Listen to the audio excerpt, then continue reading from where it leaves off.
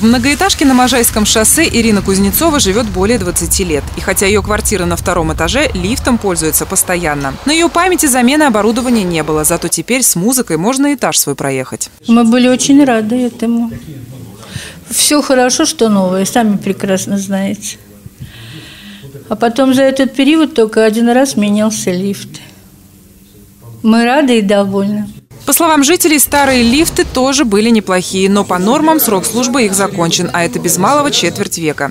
Теперь на их место пришли новые современные кабины. Например, грузопассажирский может за один раз поднять максимум почти 600 килограмм. Это лифты отечественного производства Щербинского лифтостроительного завода. Полностью соответствуют безопасности по законодательству Российской Федерации и Евросоюза. Надо любить новое оборудование, да, то есть э, не бить, не самим. То есть, как в правилах написано, да, очень часто бывает такая э, плохая, как бы сказать, практика, да, что когда люди застревают, пытаются сами вылезти из кабины, тем самым разжимают двери и э, а, ломают привода. А вот от порчи лифта поможет антивандальная порошковая краска. По словам экспертов, она не позволяет хулиганам нанести царапины в кабине.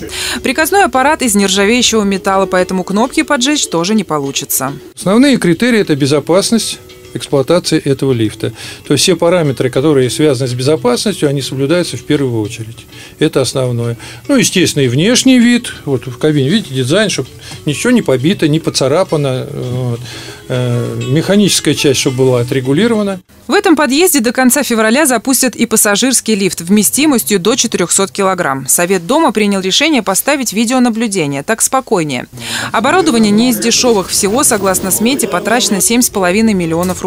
Теперь так важно сохранить капитальный ремонт и новое оборудование в целости и сохранности. Проходит экспертиза лифтов и уже планируется, на какой год будет замена лифтов.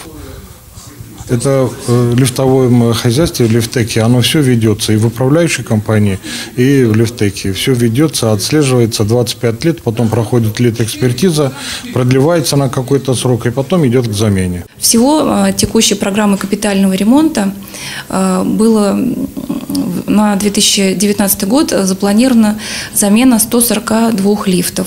В настоящее время около 100 лифтов уже заменено. В ближайшее время будут завершены работы по остальным лифтам. Всего на территории Одинцовского городского округа почти 5000 лифтов. На два года вперед в планы включена замена 76 единиц лифтового оборудования в 30 домах.